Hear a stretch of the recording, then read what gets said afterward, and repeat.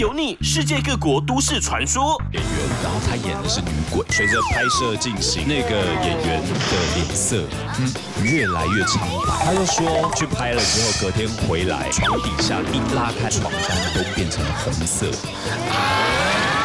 婴儿哭墙，朋友他们开车过去就听到床屋旁边很大声的啊，马上开走。隔天早上看到门上有五个爪痕。酒店的后楼梯竟然有一个牌位“某局孤儿”，网友他就下载了屋主孤魂的照片，他的妹妹就问他哥哥说：“爷爷是谁啊？”没有人啊。对，晚上的时候，妹妹房间平常是没有上锁，这时候他妹妹的房间锁住了，不管他怎么开都没回应。几分钟之后吧，他妹妹才打开那个房门，哦，他哥哥说：“我看到了那个爷爷。”发给你们一人五千，然后我们今天就到这边了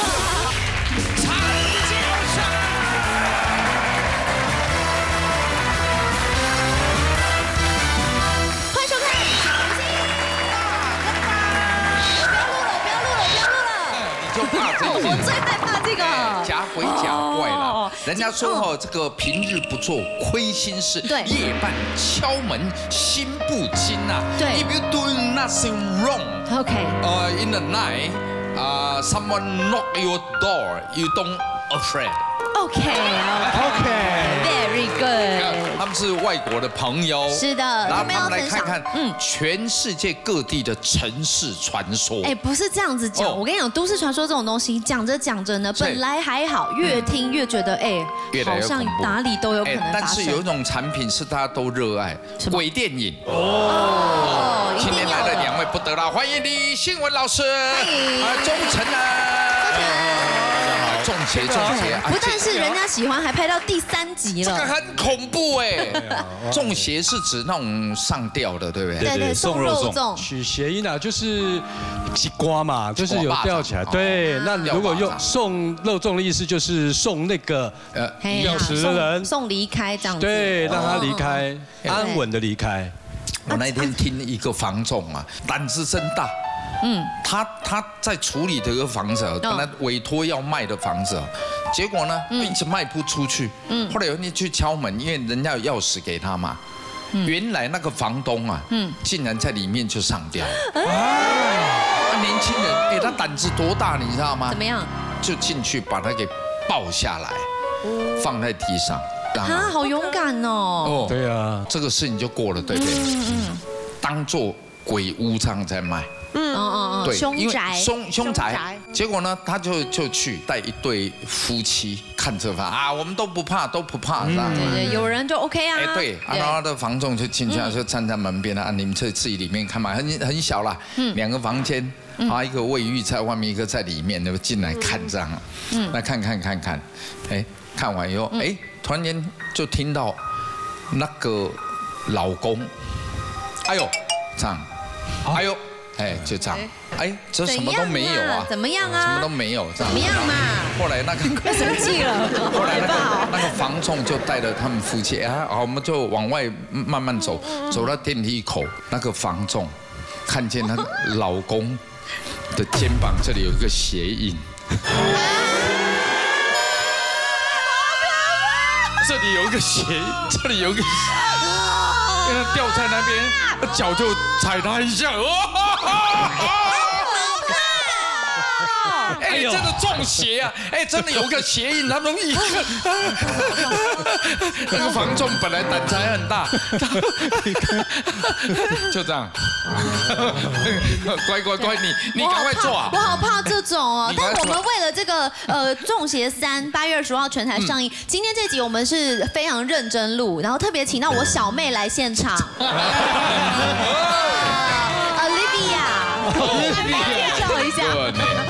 没有，他们就陪着我们啦。等一下我们要讲鬼故事陈恩前面几集有演吗？有有有，第一集就有，一二三就有演。对对对对对有有新闻也是，我是第一次啊。哦，第一次。这次才加入的。对对对，演这个角色命要很硬啊，八字要很重。你演有禁忌吗？有禁忌。有。你演什么？拍的时候很多禁忌。那个现场呢，在三峡的大报溪。哦。我们早上五点的通告，所以很早就要去。嗯。这一路上呢，开车开开开开到怀疑人生了。哎因为那个地方哦，刚好那那个是有点冬天啦，荒山野地，对，然后那个整个雾气是下来的，整个那个雾气下来，然后我哎。开那个车开开开开开到差点迷路，但是我还是到了。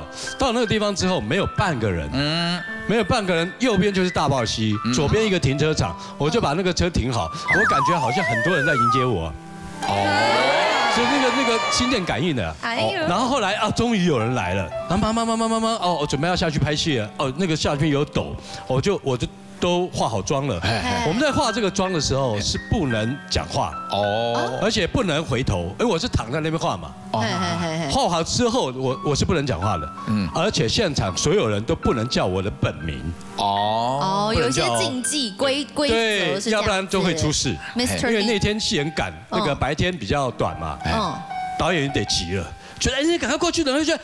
然后那个师傅哥，你从那边过去。啊，完了，我那个时候戴的那个头冠呢，嗯，整个冠呢，嘣掉下来，哦哦。掉下来呢，我就感觉哦，整个人好像被电击一样，哦。好像被掏空了，整个人就不太对劲。那那时候我看到导演嘴巴是，啊，所有人都绕也还绕也还，现场一片僵住，没有人敢讲话。导演要新闻，新闻有时候今天天气会不好，对对，就是用这样的方式，你觉得鬼会被骗吗？他有这么傻是不是？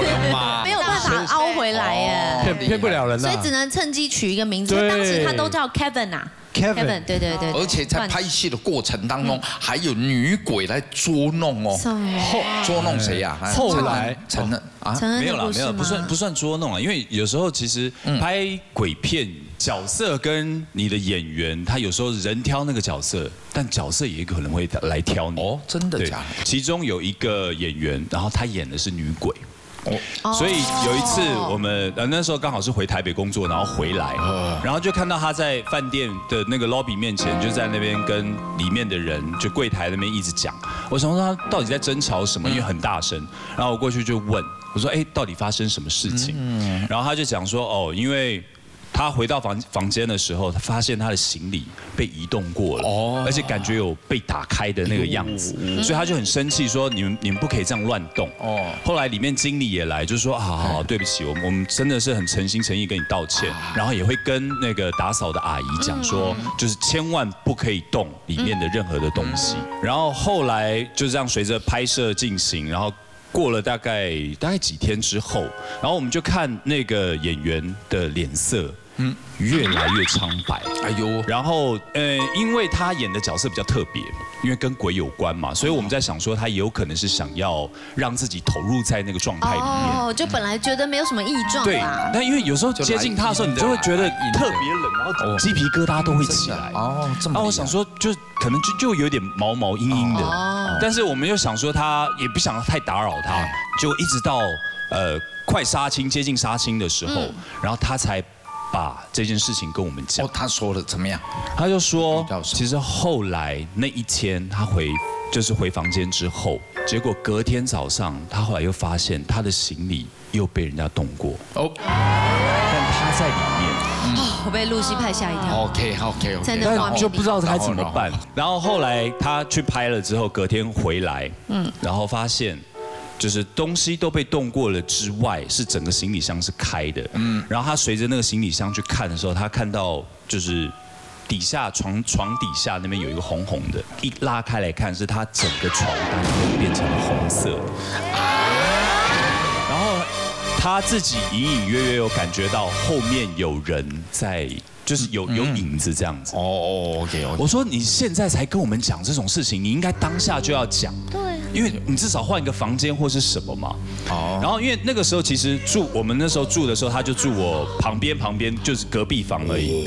然后那个时候其实我的状态也不是很好，因为那时候是睡觉，我大概每半个小时就会醒来一次，每半个小时就会醒来一次。等于你还没有睡过夜，我我们其实不能讲睡过夜，因为以后会考虑睡过夜的 对对对，没有没有等于前一餐你不能吃太要起来。喝奶呢。对对对。并没有，因为睡觉的时间其实都是白天。，OK，因为就拍鬼片嘛所以都是都是晚上才拍，千万不要就是铁齿，真的不要铁齿，对不对真的不要铁齿。不要去得罪任何。对，心存恭敬，对。对不对？如果这里真的有往生者出没的话，我们他过去他也是人嘛，对不对？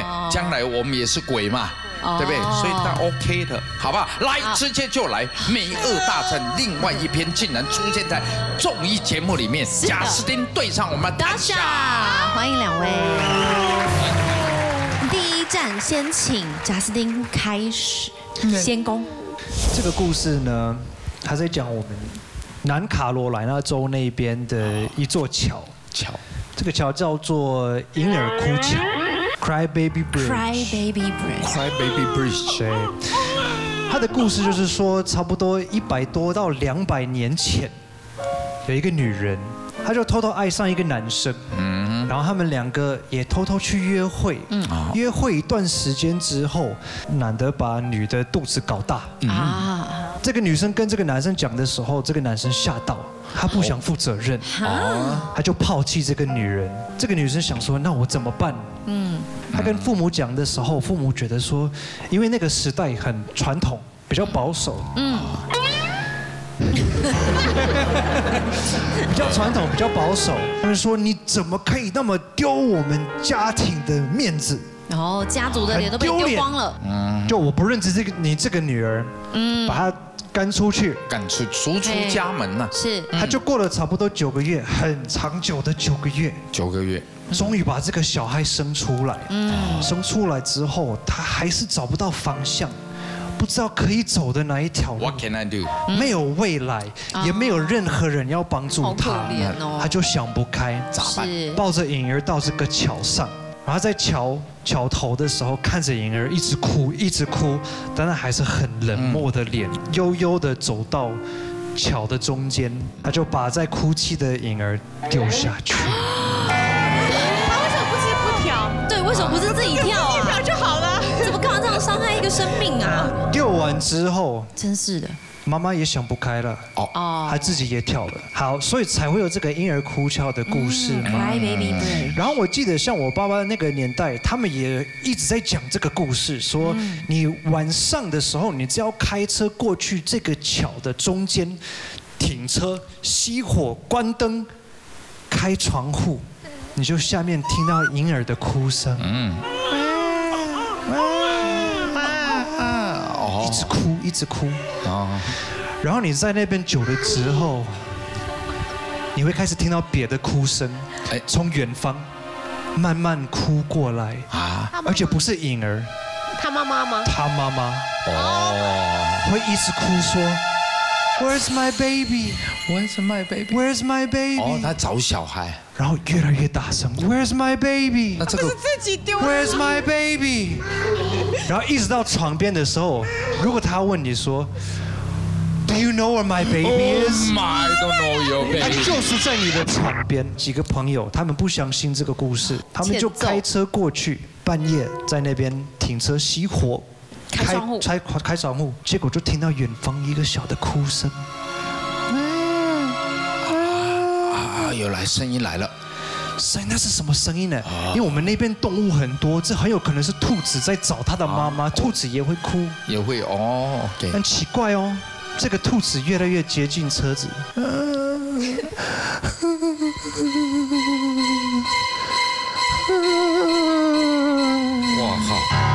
接近发现这个不是兔子，这个是人的哭声。直到床屋旁边很大声的啊，他们吓死，把车子车子开启，马上开走了，开完回家里。好可怕！到我们家的时候，他们还不敢，他们不敢相信，一直跟我们讲这个事情。哦，我们刚刚这里有听到，这里有听到很大声，就在这就在我们窗口窗户边呢。啊对呀，没有人相信，嗯。就是想说你们这些男生是喝了什么、吃了什么、抽了什么才有这样。是有幻想啊。哎，，你这几年学的动词很多哎，结果厉害。结果直到隔天早上天亮的时候，我们要去开车上学，我们要开门的时候，看到那个床户这个门上有五个抓痕。觉得是他们开车的时候，他们那个女人想要抓进去他们的车子，反而没有还是说抓到你。们开车撞到人？对啊，你们是不是撞开车到人啊？撞到人，然后让他抓走，的然后就说我说你们不能照跑。这个倒是不清楚。回来少了一个人，对不对？，OK 哦，好，这个故事有有点，你觉得可信度怎么样？有有有有可能发生。有此一说啦怕，怕。而且桥上啊是最多人喜欢自杀的地方。对啊对不要说什么，珍惜生命对，珍惜生命啊！我们那个乌来那边也有一些长北北北宜公路啊，九弯十八对拐那边。哎，真的夜晚拍的 MV 啦，哦。拍完在乌来那边，拍完回来自己开车，就红绿灯，要拍到早上六点一直拍，拍到晚上十一二点了。哎呦，结果呢，突然间因为我留了一点缝隙嘛，留点缝隙，然后自己有点快要睡着这样，我清清楚楚听到我的旁边有那个声音，那我心想说，如果是这种阴间的朋友，我也不要打扰他，所以我就故意不太敢睁开眼睛，啊，闭目养神，一直在听他讲那个声音啊，啊，不要买月兰花，仙哥，要不要买月兰花？后来仔细听清楚，哦，要不要买玉兰花？哎，这么晚卖玉兰花，哦，谁会个阿婆。？哦，他刚摘新鲜的啦。来，你也来来来，哦换你了，这个要换你比赛的哦，比赛的哦俄罗斯的都市传说。哦俄罗斯娃娃，好，就是莫斯科有一个地方，然后他们它是一个新开发区域嘛，然后它是要盖一个医院。那时候是一九八零年，那时候还是苏联时代，嗯，所以说他们他们不是都喜欢就是大的很大型的，然后就是比如说全国最大，什么全世界最大，厉害的，对对对因为每一个国家都在比比对较。他就是要比较，所以他也是说他要改这个全国最大型的医院。到了一九一九八五年，过了只有五年的，他就突然停工了。哎，why？对，然后就是这个苏联的政府啊，他们宣布说资金不够，嗯，这是第一个原因。然后第二个原因是说附近啊，就是好像是有河流，嗯，所以就是那个地下。全部都是一直淹水，然后好像完全没办法改进这个情况，哦，OK 所以真的宣布停工。可是传说是这个大型的医院，它不是真的医院，地下室还在。然后根本没有盐水，地下室是秘密的实验室。实验室哦，对，因为苏联其实有很多这样子的故事，办一些做一些就是奇奇怪的、很疯狂的实验，OK，像是什么换头手术、嗯，换脑换脑手术，换脑手术，哦好，然后呢还有比如说做一些人体实验，对，都是人体不人验道又对违，法因为对都是违法的，还做了这个睡眠实验，就是让人家一直不睡觉好几天。哦这个好像是全世界都蛮有名的，蛮有名对对看。他会不会会怎么样，会对，发疯吗？对，会发疯啊，掉呢？对嗯对，都是做了这种很疯狂的实验。后来呢，一九九一年，苏联就解体了。这个医院就是别人那种就是别人抛弃的一个地方，嗯所以就是那种很奇怪的人都会去那边玩，哦，去像是探险对，哦，像就第一个是探险。就会去那里做节目。啊，对，像是这种。然后第二种的就是那些什么三滩教、撒撒撒旦教。沙滩教，他们就在那魔鬼的那对哦，他们在那边恶魔的办那种什么 party 啊哦，或者然后做一些就是祭坛呐对啊。然后也是有人说他们在就是去参观这个地方，因为很好奇，他们都会听到有哭声或者叫声，或者人在求。就是求他们，嗯。后来有发生了一件事情，是上了新闻，就是有一个阿姨，她遛狗，然后把它放开，就在附近，因为那个地方其实，在莫斯科市内，啊，就是哦，对，在市中心啊，对啊，哦，所以说他就是把那只狗狗放开了，狗狗跑一跑就突然不见的。嗯，这个这个阿姨一直找她的狗，找不到。嗯，后来他也去报警，他是跟警察一起到这个地方，就是一直找，因为就是已经没有其他地方了，好不容易找到了这只狗，可是它的长相很可怕，很可怕，很可怕，它就是整个嘴巴被裂开了，然后对，然后就是。哦哦哦哦被音乐吓到。只是狗的部分，鬼都还没出来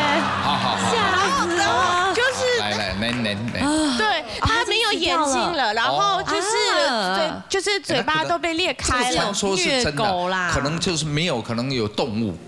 哦，拿动物来实验。对，不是不是不是，就周围周围有动物废弃有动物这样子。可是这个也很可怕，因为它的四只脚都被绑架的，哦，所以不是动物，是都都绑起人。都都都是不是动物，就是一定是有人抓它了，哦然后把它弄了，对啊，对，然后就是他那那个那个阿姨觉得就是她很困扰，她就是真的就是很伤心，她也想去找人，她也想去告这些人，嗯，最后这个阿姨也死掉了。哎，莫名其妙，就是完全没有原因的就就死掉了。然后就是这个传说一直一直传流，然后就是大家都很不敢靠近这个地方，而且那个地方很大，所以后来有一个商人，然后他说他要自己呃捐钱把这个院盖掉。过了一个礼拜，这个商人也失踪了。失到！现在完全不知道这个人在哪里，到现在还没找到了，哎呦，知道，截至目前为止，这个医院还在，在，对，还在，还在。啊还查得到哦。查得到。这一条桥还在吗？还呃最近被弄掉了，因为已经老旧了。哦，但铁是找资料都找得到。在在那个年代里面，基本上铁桥居多了。哦，对。来，两位评审老师，他们已经你觉得在激烈讨论了哪一位究竟是美国朋友这边讲的比较厉害，还是我们这个俄罗斯斯这边的获胜。讲的比较厉害呢？我们评审之后，你们不会打仗吗？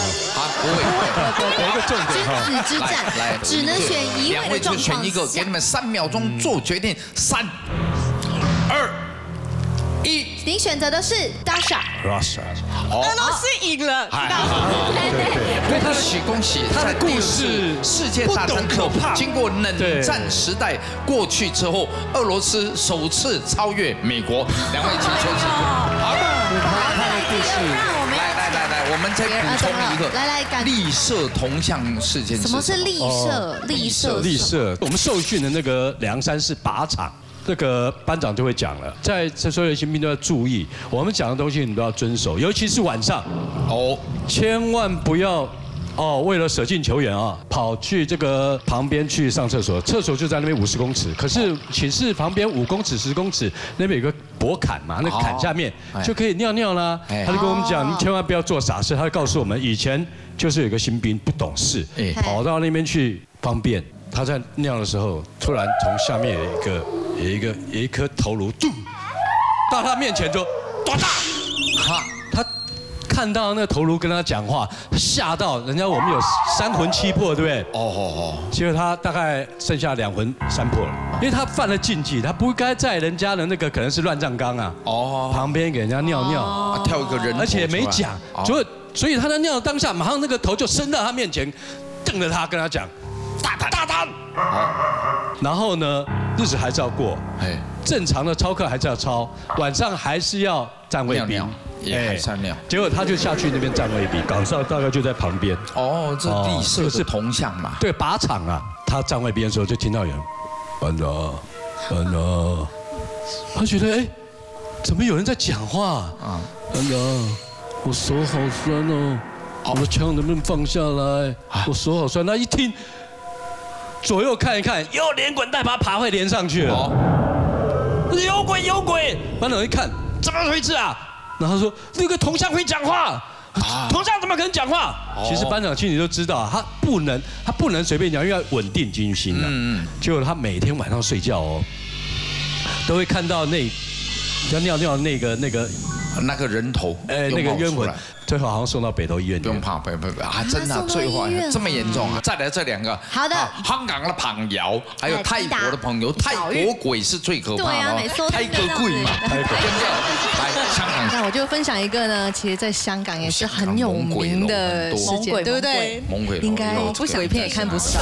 香港的这个。那其实呢，香港呢有一个啊灵异电台节目，其实它也就是做了很多年，嗯。让很多的听众啊可以打电话上去，就分享自己就是灵异的事件，对，所以他有一大票的忠实观众，啊，那其中呢有一次有一个忠实观众呢，他要打过去，然后就跟他分享说，哎，我最近发现了一个新的地方，哦，然后说是在一个铜锣湾酒店的后楼梯，竟然有一个牌位，然后它上面是写着某局孤吻。无主孤魂，无主孤啊，魂，无主孤魂。但那个地方呢，它持续会有人去，就是放一些祭品啊，然后去上香啊，但没人知道是谁会这样子做。嗯。然后节目组哎听到之后，当然就是觉得啊，赶快去有兴趣，对，赶快去去看看到底发生什么回事。所以那个忠实听众呢，就带着节目组一起去了。然后他们去到那边之后，也有拍下一些照片啊，这样子。那回来之后呢，就发生了奇怪的东西。因为那一个听众呢，他之后再也没有打上过电台。有有其他听众可能就会问说，哎，他人去了哪里啊？很久没有见他了。对，你们上次去的怎么样？这样子。可是那个节目组他们全部都不回答这个问题。找不到这个。对，这个人就好像人就是失踪一样人。间蒸发。不见对了，，找不到，然后没人愿意提，而且他们就是当初拍的照片，其实也烧毁掉了。嗯嗯。直到这个热潮慢慢的淡去之后呢，哎，然后那个主持人才愿意讲说，其实我们那一次去完之后啊，那个观众他其实就中邪了。嗯嗯。他整个人中邪三八月二十五号上映，谢谢你啊，中邪啊，然后要不要吃肉粽？就中邪了啊。对，然后他就常常一个人半夜的时候就会在外面游走。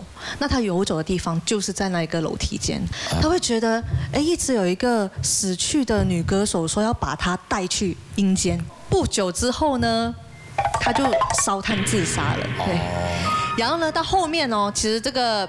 无主孤魂的事情，其实他还有其他人也有去，就是上网有说过。有一个网友呢，他在上网就说：“哎，我们现在不是很多人都会去在网络上面下载一些照片嘛，对不对？就很正常嘛。”然后有一个网友他就下载了这一张无主孤魂的照片，排位的照片这样啊。对，那他就存了之后呢，他就不由他啊，就就没事一样。但他的妹妹有一次就拿他的手机在滑，那滑的时候就滑到这一张照片，然后他就问他哥哥说：“这个照片里面的爷爷是谁啊？”然后他哥哥就说，就看那个照片就觉得没有人啊，哪来的爷爷对，哪来爷爷？他就跟他妹妹说没有人。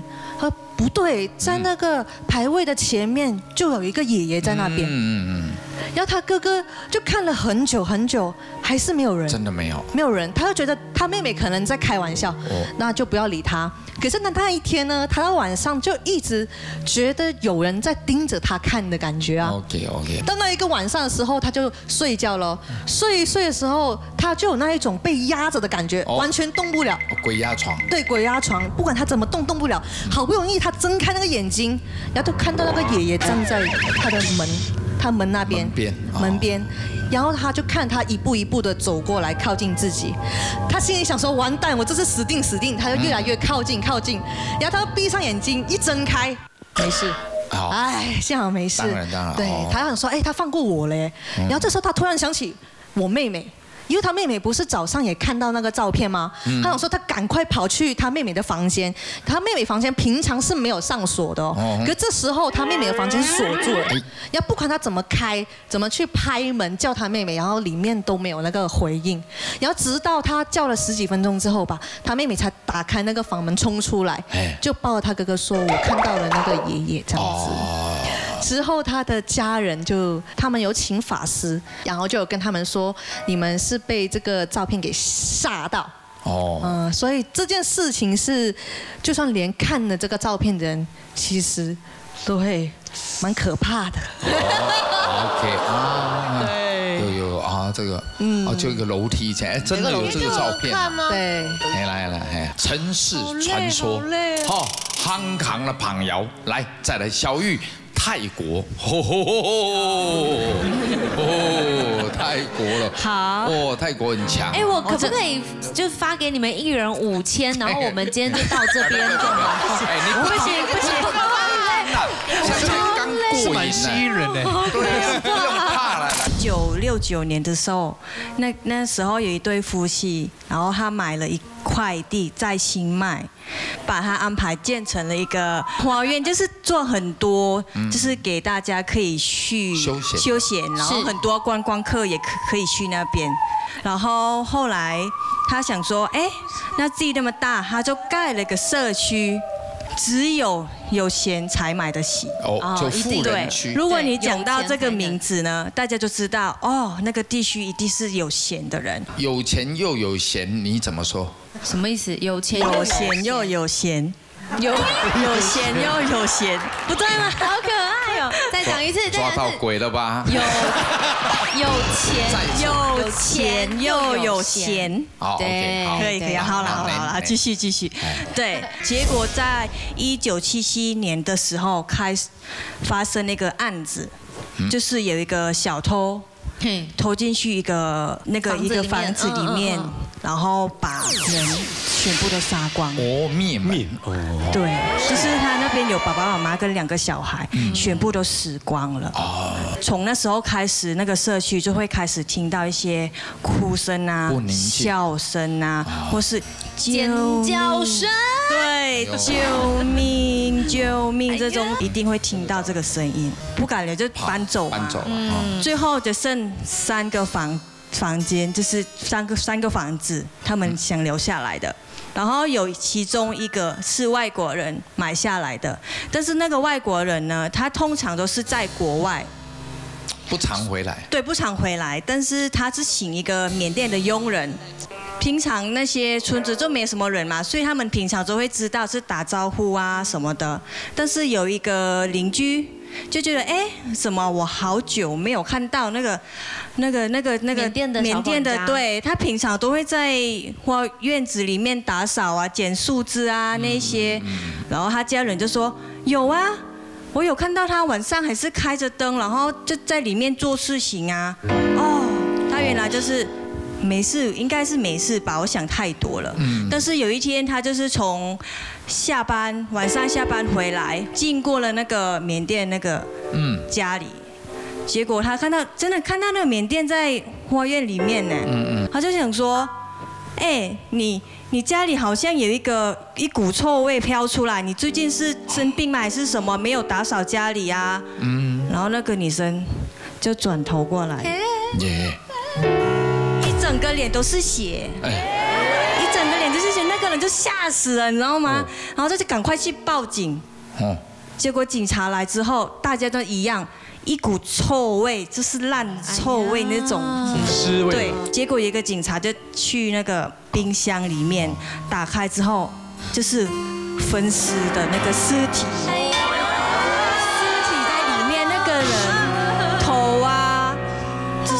就是身体分析就塞在冰箱里面。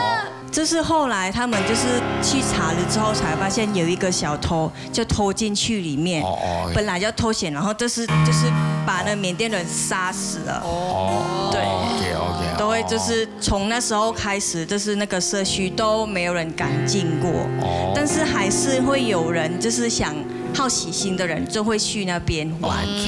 还是一样会看到那一些那个人还是在打扫家里，就尽忠职守哎。来，两位评审老师，你们觉得哪一个比较好？嗯，一、二、三，我们选择的是香港的鬼故事。还还有对，还有还有比较佐证的，对，而且还有照，片。还有照片。对，搞得我们都不敢看的那张照片。决战的时刻已经来到了，是的进来之后嘛，香港对唱俄罗斯。哎呦，好，来两位，请准备。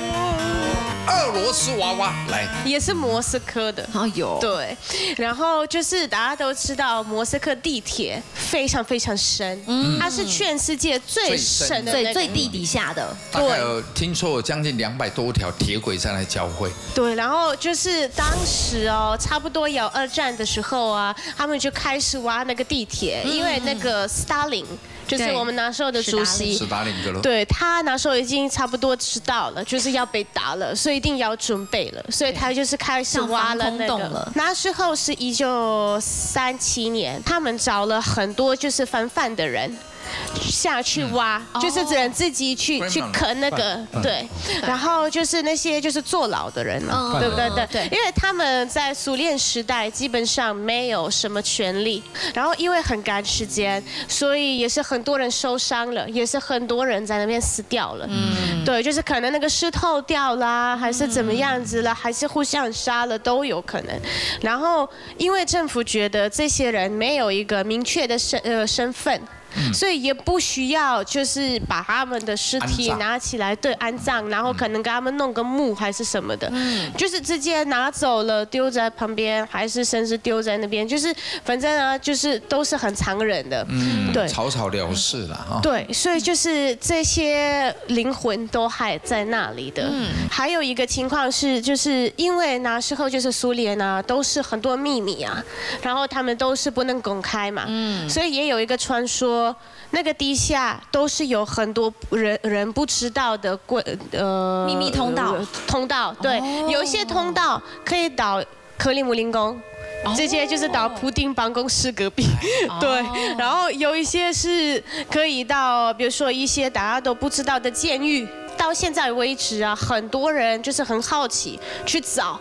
然后也是很多人在那边失踪，因为那些那些路程很复杂，对，就是基本上就像一个迷宫，对，就是迷你可能进去了，但是回不来，它就是有一些目前发生的事情，嗯嗯嗯，就是说。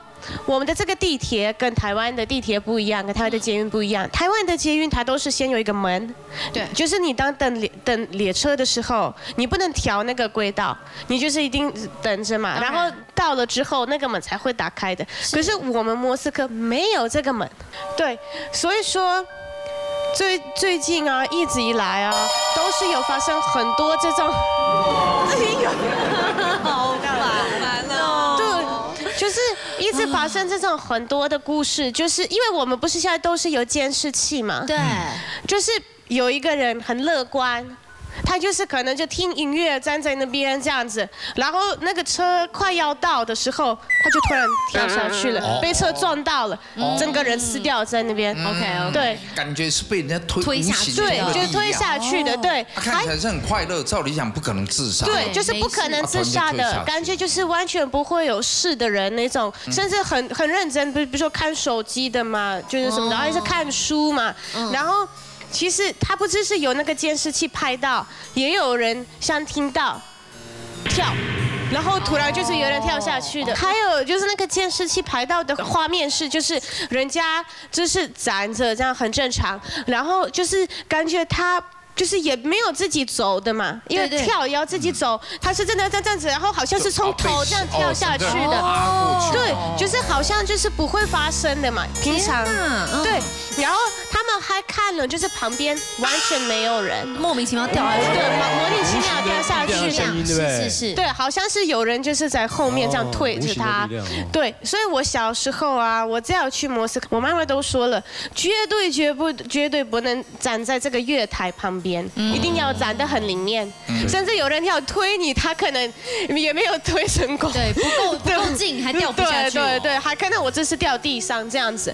可是我自己啦，我下去那个地铁，因为之前就读大学，每天都是下那个地铁去学校，有的时候，特别是比如说凌晨，因为我们的那个地铁都会开到很晚，嗯，真的都是有那种感觉，就是好像是有人在看你啊，对，还是有。人在这，就是好像是在吹口哨啊，对啊，然后你这样转过去看，完全没人，对，或者你听到男生吹口哨，可是你看旁边。是一个阿姨啊，不可能是她。我真的觉得，我也看那个阿姨啊，也没有什么事，没有，对啊，她就是这样站着，但就有口哨声。你听听耳听到的，这个可能我其实有听。到，对啊，对啊。而且而且我我我那时候我记得有一次，我也是很晚很晚就是要回家嘛，然后就是因为我我是坐飞机到了莫斯科，然后那时候就是叫不到车，我想说好坐地铁比较快。来了来了，我这就是完全没人啊，那时候凌晨两三点嘛，可是我真的有听到有人在讲话。我在看，就旁边完全没人，然后我也分不出来他说什么。我就真的很害怕，我就直接跟我妈说：“妈，拜拜托，我要叫车，我不要站在这里，我直接跳出去，就是有跑的，因为真的我很害怕，很害怕，太恐怖了，太恐怖了。对啊，这么这样子跑空，间的回音，这个对啦，因为叫有缘站跟众生啊。站，之间，有有缘的众生呢。香港朋友，好。滴答。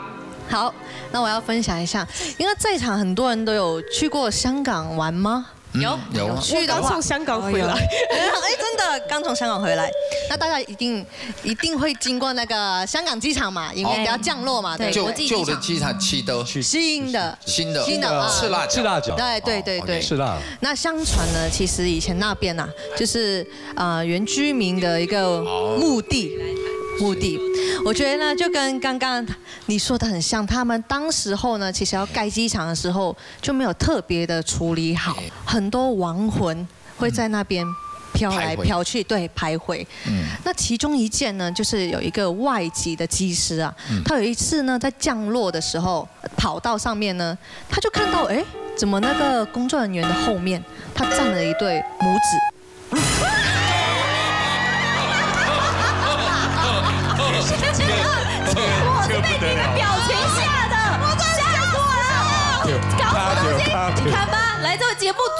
好好，没没没，哦，跑道，跑道上面，对，然后呢，那个技师就觉得，哎，很奇怪嘛，对不对？你怎么可能会让外人进来？嗯。过去的时候他就盯着他们看哦，那个技师就看到那个拇指对他这样。挥手，哎，微笑，哦，微笑看着他，嗯，对，很像神经病。那个技师就很生气啊，就是下飞机就马上去投诉，去跟工作人员讲。当他们呢再去看那个 CCTV 的时候呢，却发现没有人。所以监视哦，监视器啊。哦。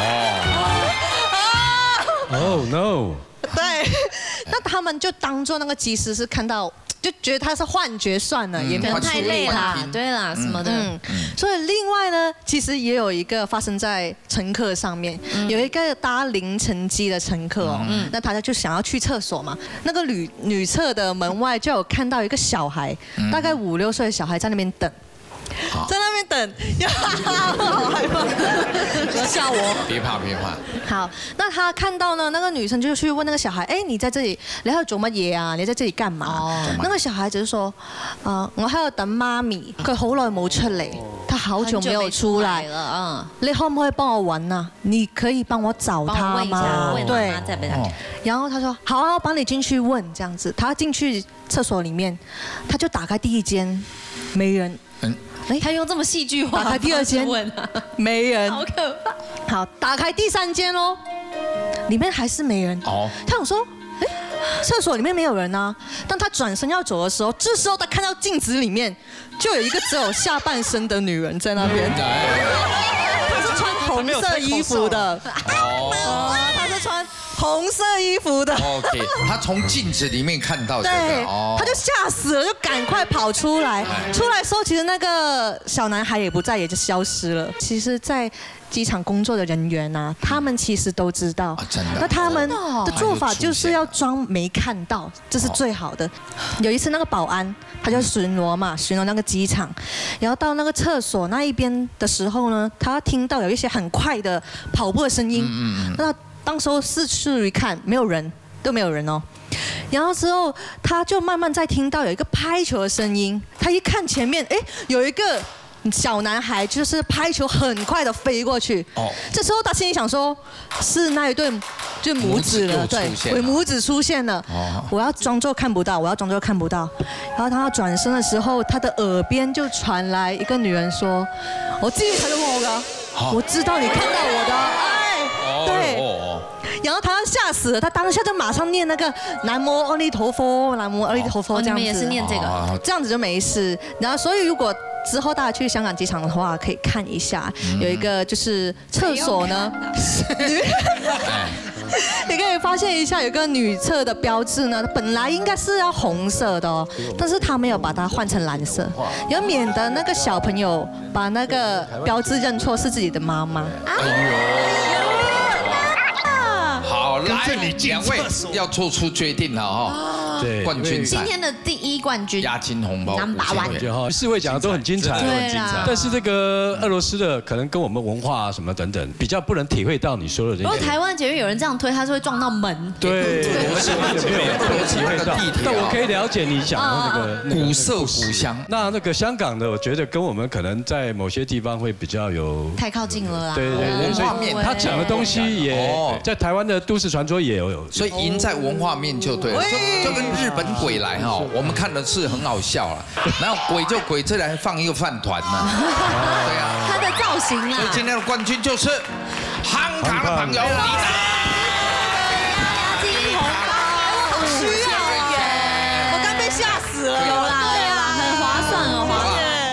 个希望大家呢多做好事 OK 多说好话，好不要多看坏事好电影。是的，电影《总结邪三》再次谢谢这个炎炎夏日啊，鬼门开喽！再次谢谢各位，谢谢两位演鬼的朋友。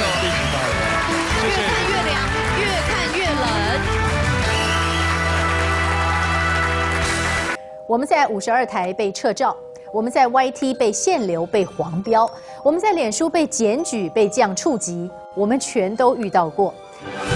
但是我们不放弃，让真相被听见、被看见。我们现在有自己的中天新闻网 App，这里永远不断线，请您赶快下载中天新闻网 App，因为这个 App 非常贴心，中天的新闻直播节目全都在里面，一次满足。